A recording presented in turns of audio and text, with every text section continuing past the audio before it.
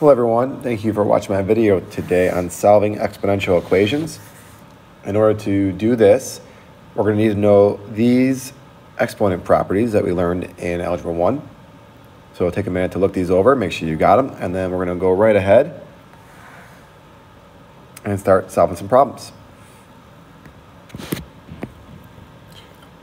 So first one, we can see they're both powers of 3.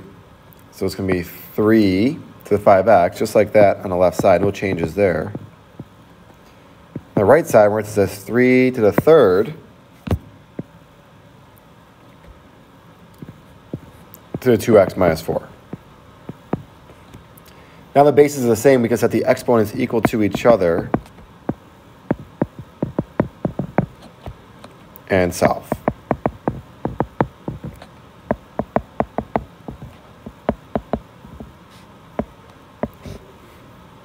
So 3 to the 20th would equal 27 to the 4th. Both of these are powers of 2. So it'd be 2 to the negative 1 to the x equals 2 to the x plus 3. So that's going to be negative x equals x plus 3. Negative 2x equals 3. x equals negative 3 halves.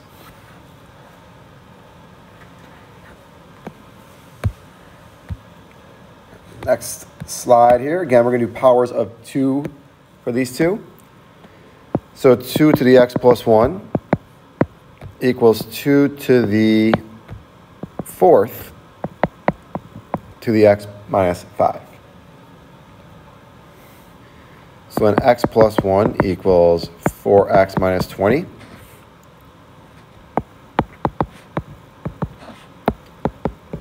So x would be 7.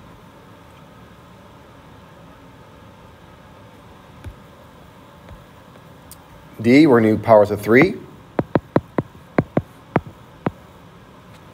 That's a pretty simple one. So x minus 2 equals 3. x would be 5.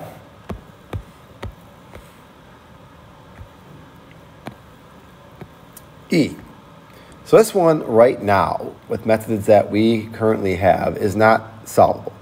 Because there's no way to write 7 as a power of 3. All right? So we're going to learn a new method soon using logarithms that will allow us to rewrite this into a different answer. So right now, the only thing we could probably do is to put this in our calculators. So if you want to pause this video to get a graphing calculator out, and you could put 3 to the x in y1 and 7 in y2. And on the graph, see where they intersect which will occur one time. So I'm just finding it right now on my calculator by doing second trace intersection. And the answer would be 1.771. Okay, so what I did again was y1 equals 3, 3x, y2 equals 7. Find the intersection point. We will learn an analytic method with logarithms soon.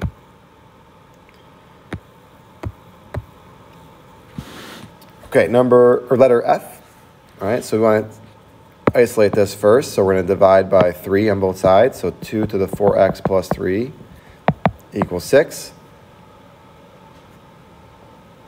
So again, we can't write 6 as 2 to the power of anything. So again, we can just do what we did in the last problem set this equal to y1 and this equal to y2.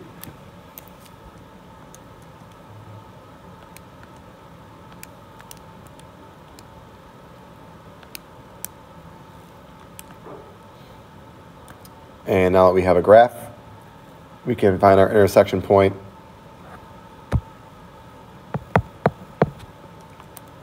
by second trace intersection.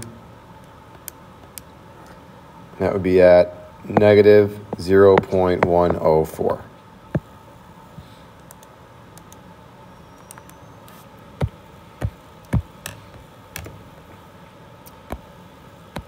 Okay, number eight, or sorry, letter G. We can go ahead and write this as powers of 2. So 2 to the third x minus 1, 2 to the x plus 2. Like bases, so 3x minus 3 equals x plus 2. Solving that, we get x is 5 halves.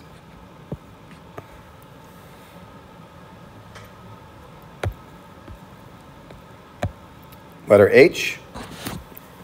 So this would be 12 squared to the 2x plus 1 equals 12 to the 5x minus 1.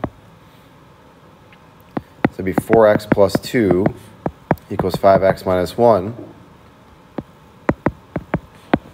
And then x would be 3.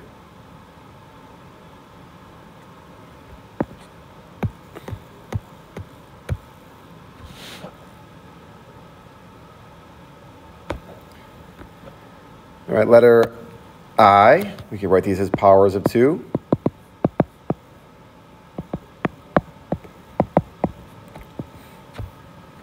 So m plus 1 equals 4m plus 28.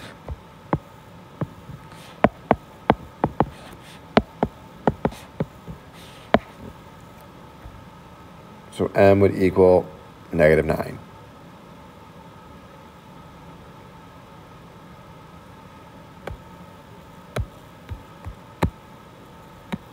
Letter J.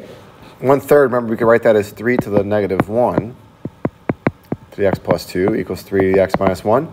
So negative x minus 2 equals x minus 1. Add x over here. Add 1 over here. Divide by 2. Negative 1 half. All right, and our last slide here. 8 we can write as 2 to the third. 16 is 2 to the fourth. So we get 15x equals 12x plus 16. So 3x equals 16, x equals 16 thirds.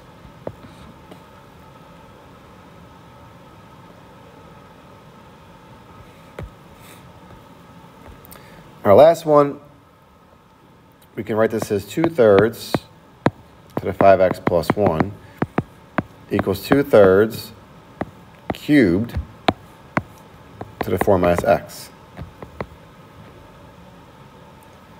So then 5x plus 1 equals 12 minus 3x. So 8x equals 11, x equals 11 eighths. All right, that will do it for our lesson today on solving exponential, exponential equations. Thanks again, as always, for tuning in, and we'll see you again soon.